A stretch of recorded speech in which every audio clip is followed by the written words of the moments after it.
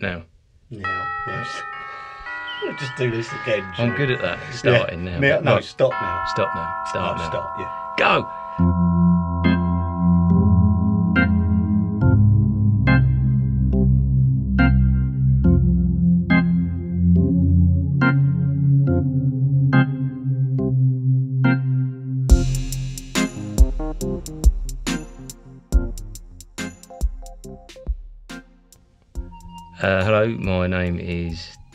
Abrahams, uh, I'd like to welcome you back. I'm not putting those ers on on purpose. I'd like to welcome you back to the third episode, or whatever it is, I never know, of our podcast for Everything Carve the Movie. As anyone listening to our previous two episodes may have easily realised, I was clearly making an attempt for a Guinness uh, Book World Record, a number of references to Carve the Movie and the word podcast in one recording. So um, I'm going to solemnly swear I'll do my uttermost to avoid such mind-numbing repetition again. Uh, so in the first two episodes, uh, gave a brief outline of the initial steps in looking for cast, crew, and script uh, for the project, and sort of getting your own independent film uh, off the floor, off the bedroom floor, off your laptop or whatever I am. Uh, so today I'll tidy up that part of the production a little bit, uh, and before venturing into some uncharted waters for uh, the episodes coming up after that. Um, I'm, I'm delighted to announce that from now on we will see greater involvement uh, and less common or garden knob twiddling from Bill Garnish, the engineer producer of these episodes and the man behind our particularly fine theme tune music, which you heard a little earlier in this episode. So, Billy, would you like to run the intro music again, please, Maestro? No problem. Okay.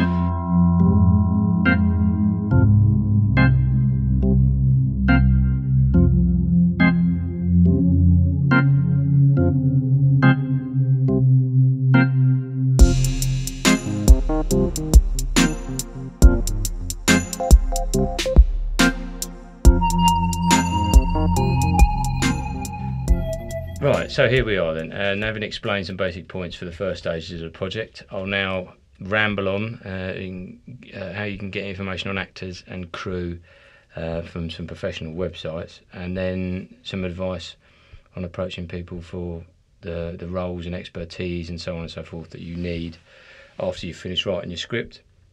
Uh, you know, basically the people who know what they're doing while you sit around spouting off a lot of old cobblers on a podcast. Uh, before that, I wanted to first of all try a quick idea game. This is now ground to a halt, by the way, but I want to introduce it to you, our beloved uh, uh, listeners. I was going to say readers then. um, uh, uh, it's an idea I had the other day, uh, and uh, it will see me return to the term carve the movie because I'm such a liar. And it'll also uh, see the uh, uh, pronunciation of uh, the subhead, we'd call it in the newspaper, I don't know what, catch line strap line for Merry Bloody Christmas. Have a Merry Bloody Christmas, um, which runs along the posters and anything else, promotional stuff for the film. Uh, but what I was going to do, I was going to call the, the, the, the segment Dan's Dialects or something ridiculously stupid like that. But due to my failure to explain this to Bill uh, properly, we've ended up with something really random. So what the idea is, Bill will find five languages, write write them down of the term, have a merry bloody Christmas, and carve the movie, and then I have to pronounce that, and then guess what the language is. But because I made such an arse of it, uh, we'll have to introduce it in another episode. So sorry about that. I've just realised that tapping noise is me moving my head, I think, and the speakers. Oh, is it? Yeah, it's got no hair. It's not keeping the speaker. the. The strange tapping noise is your bald head. Is that what you're saying? It's not. The, there's nothing in it, so there's no noise coming The strange in. rattling noise from the previous podcast is Dan's head. And you heard it. Straight, you heard it there, folks. Straight from our producer, the man that knows what's going on. Right. Okay. So after the Mystery failure, solved. Mr. Holmes, uh, after uh, the failure to introduce the new segment at Dan's Dialects, I'll now talk to you about attracting, um, as I casually drop the script paper on the floor there, uh, talking about attracting cast and so on and so forth uh, from the internet and stuff like that. Um, I did most of this. I asked around people who, who work in amateur dramatics and so on and so forth, and they all pointed me towards a website called mandy.com. I am just going to leave that there for anyone who's got a perverted mind like mine. As soon as I start saying to people, oh, yes, I'm looking at mandy.com, they give me a, a strange look and then leave me to it. But actually, it isn't some one stop shop for a jazz magazine uh, subscription or anything like that. It is a one stop shop for anything film and theatre.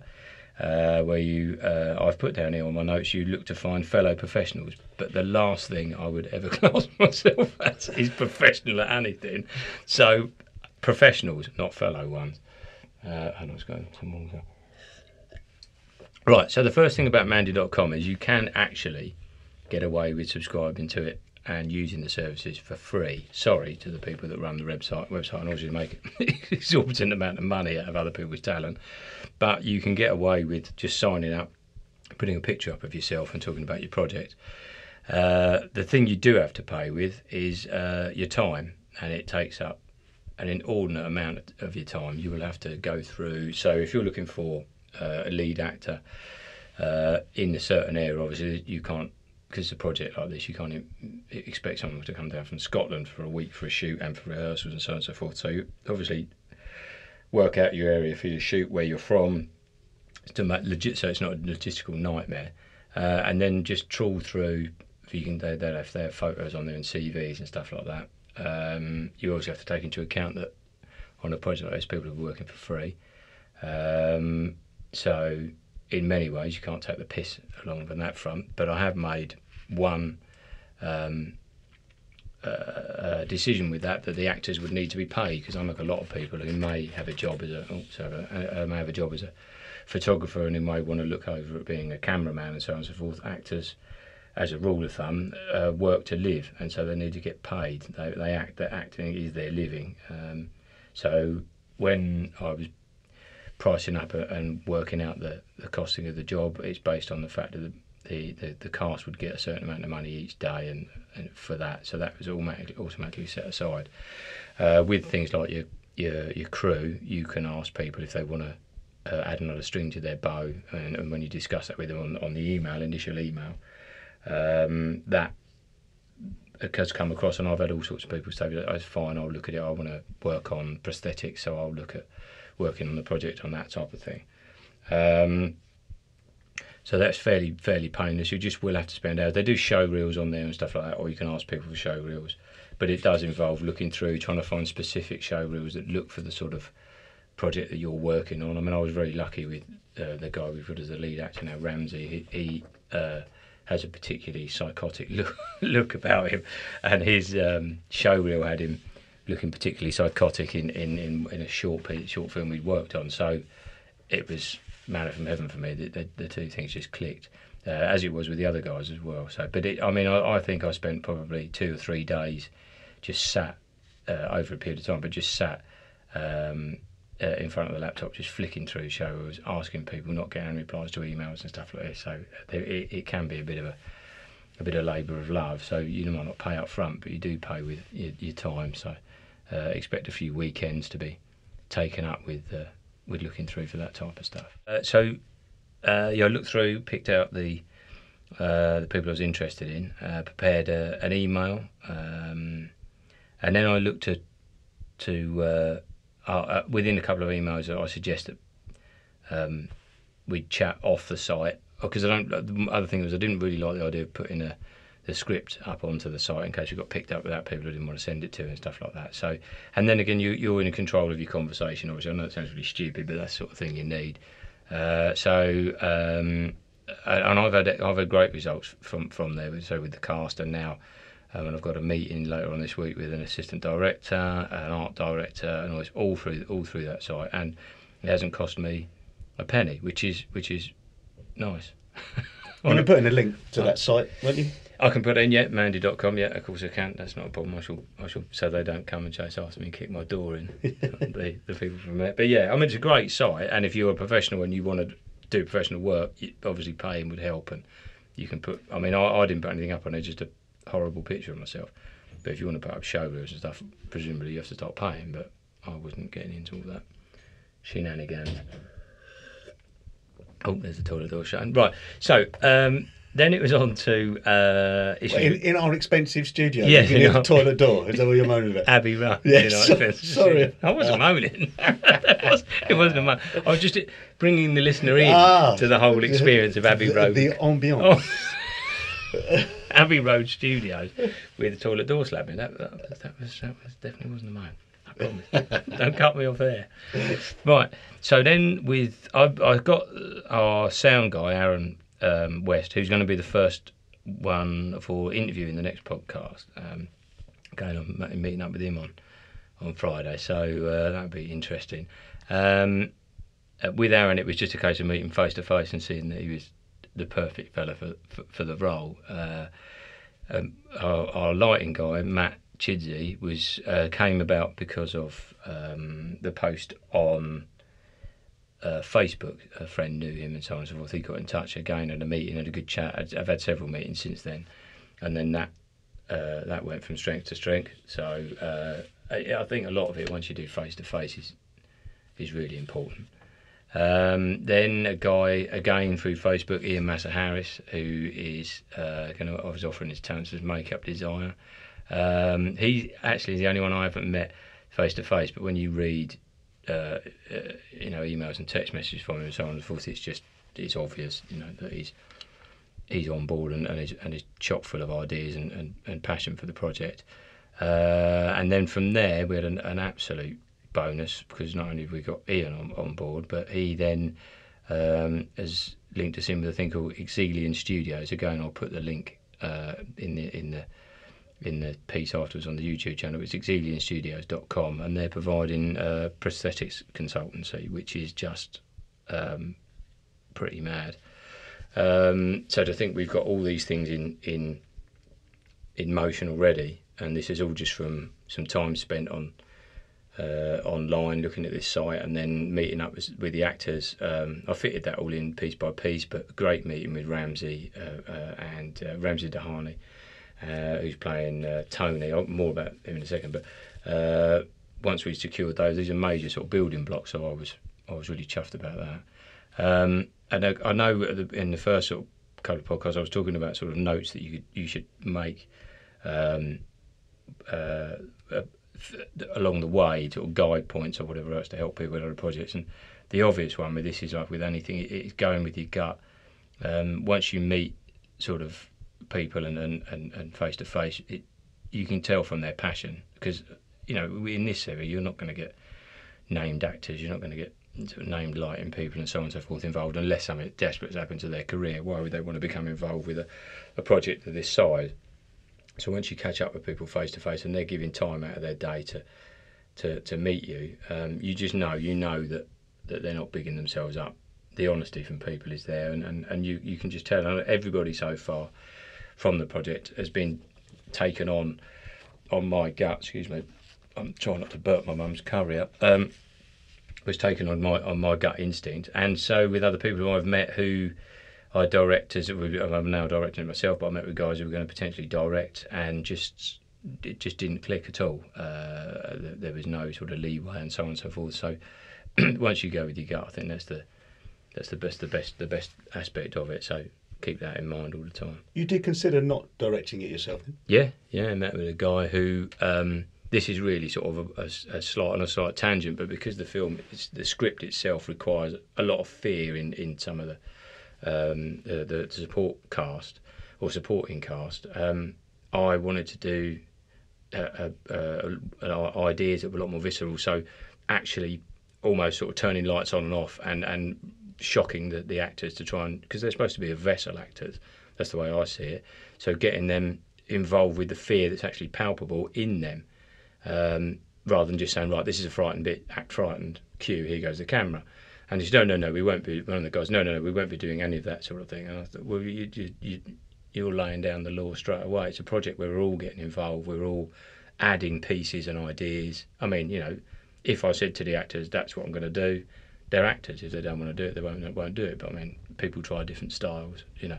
So I spoke to the, a couple of people and it, it was little little things like that. No, we won't do that, and we'll film it here, and we'll do this, and I'll bring my friend along, and I'll do this. No, it's, that's not how I saw it going. Not uh, the I spoke to the guys as directors, I must say, after I'd spoken to and got Aaron on board and Ramsey and Matt and Ian, and all their view was that the way the script was put down, that I should direct it, even though I didn't know how to direct it. So um, I could visualise it. We would all work together and use different skills and whatever to get the filming done and find. So that's why I'm meeting with the assistant director on Friday. Is that then I can say, well, look, that's my idea. Will that work? And then they can use their expertise. Yeah. But to meet with a director who is saying, no, we're not doing that. We'll be doing this. I know it's probably the standard way that films work, but this is only a small project. So I'm thinking, well, I don't really want to introduce eight people into a room where some little Hitlerian directors one there saying, you will do this, you will do that. No one's enjoying themselves. And then, you know, because people are giving their time up, it's supposed to be fun. you know. Yeah. Although not terrifying. It's a terrifying film that's going to scare everybody. But you know what I mean? Even in a horror film, you can still have a laugh, surely, and enjoy it. Oh and, yeah.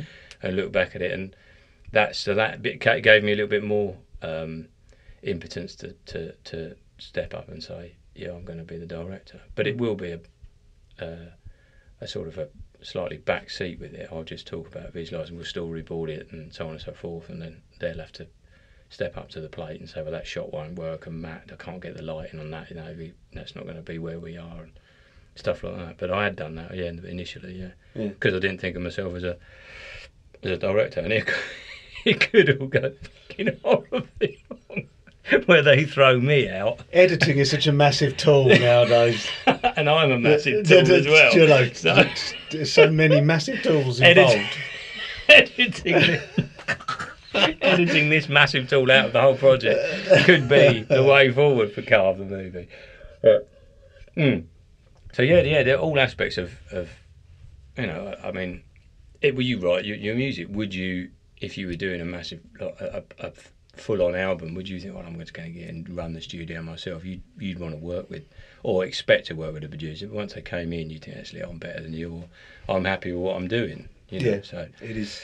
I, I am I am a proper control freak with my Yeah, music, so yeah. I know it's. a, Right. you know, I am Yeah. like that's how I wanted it to sound. Yeah, yeah, that's yeah. That's, from, from my perspective, I, I wasn't. But then when you see something like that happening, you think, "Mm, yeah, I don't know. And, and it wasn't as if the the impression I got was that this won't be for the benefit of the project. That Mm. you'll be handing this over and then walking away. This will be to the detriment of it, and Yeah. and to the people who've got on board and so on and so forth. So I thought, right, you know, People people that are involved want to work with you anyway, don't they? And Yeah. I think they would accept that, that you are the director. I think Yeah. without any problem. Yeah, well, they've basically they pointed me towards Mm. it, uh, having read the script. There's a lot of sort of instructions within the script and whatever, and they said, "Well, you you obviously got a good idea and vision for it. Well, we'll all push towards that." And then Yeah. that in my, I like the collective idea anyway.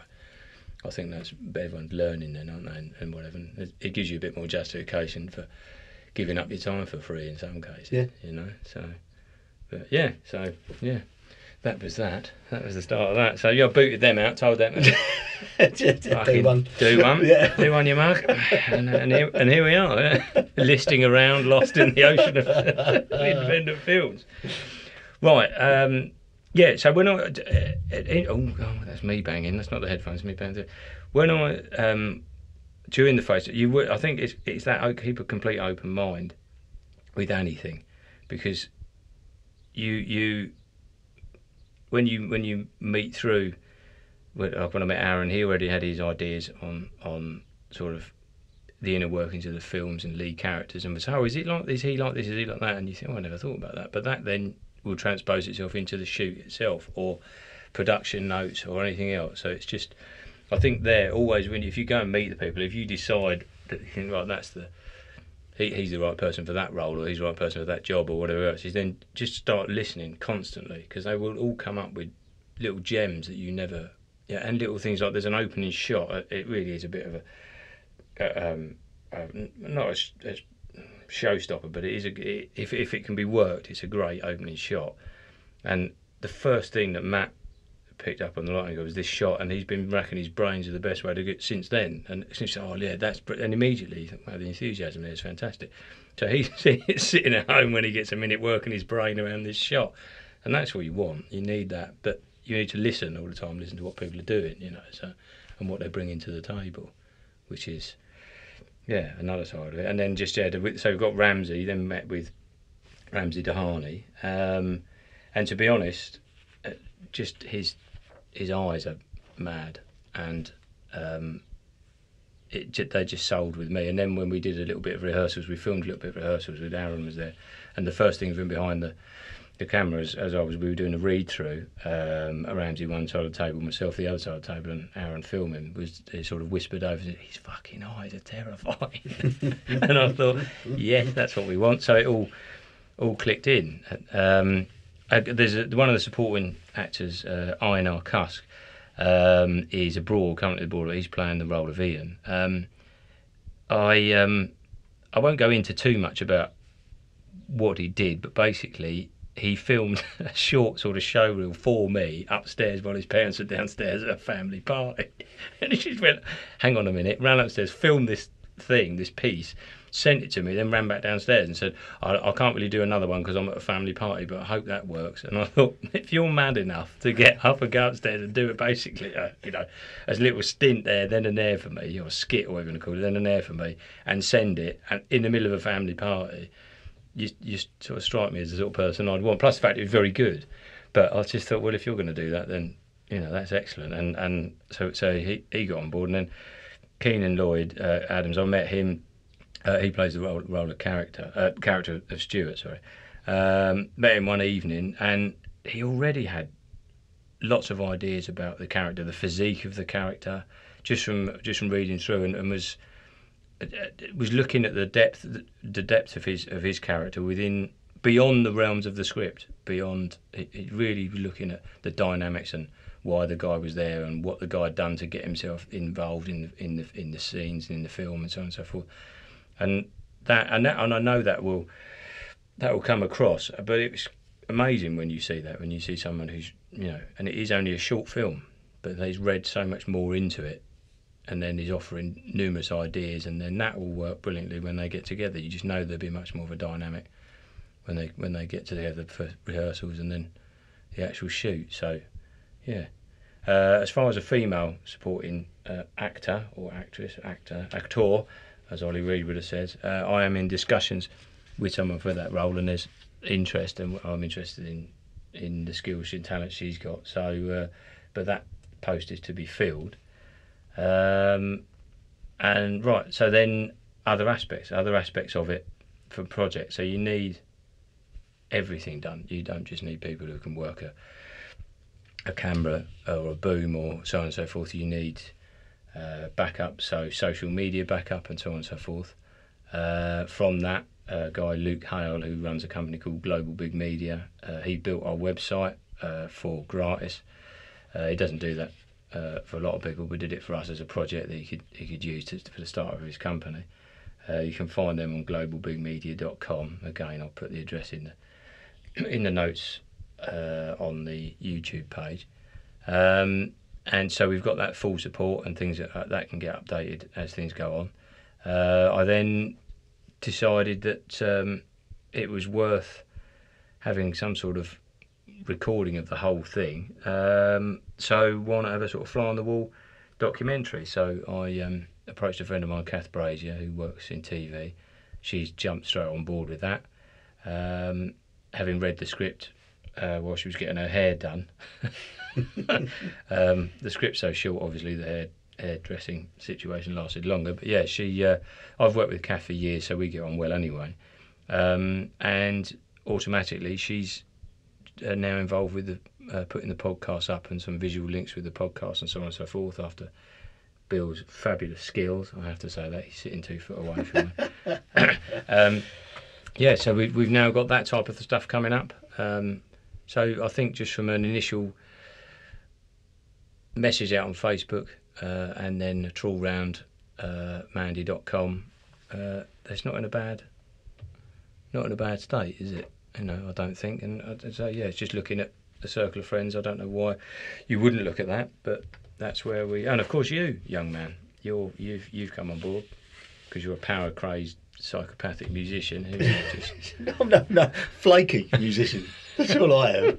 I'm like, yes, Dan, I'll meet you then. yeah. No, I won't. No, six days later. Yeah, that's was it it. then? I can't remember what day. 13, 30th. Oh. I'm, I'm a little bit. Yeah, I'm not. I'm, I'm not completely reliable, but I will get there in the end. But we've got here tonight, so that's you know Yeah. that's a start. It's three times out of three. You know. When's so- your next podcast? Do you think? I don't know. Uh, well, I'm interviewing uh, uh, Aaron on Friday, and then we've got to sit down and, and, and put it all together. So what? I don't know. It's, you're you're the governor. Is this, the, is this the video? interview? Yeah, then we'll we'll link that in. So that'll be our first podcast interview. Oh, okay. So yeah, we'll have to work that out yeah, cool. ourselves.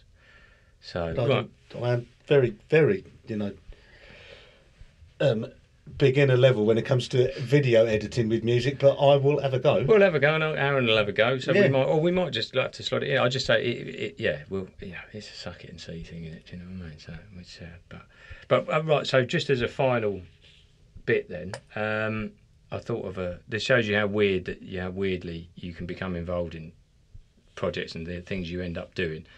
So, um, I know I said in the previous podcast you have to be involved in every aspect, especially at the beginning. Well, we needed some sort of promo image, um, which has now been turned into the incredible posters and images that you can see on the websites and the website carvethemovie.com and Facebook page and social media and so on and so forth of the blood dripping knife and all this stuff, which is uh, from Tim Jones, our graphics designer guy, who is just a genius. Um, but we needed an initial image. I needed to get something to show him. So I thought of uh, some Christmas decorations covered in blood, in snow, etc., etc. Um, the only problem was that when I decided that this was going to be an image that I could send to him, uh, Christmas had finished.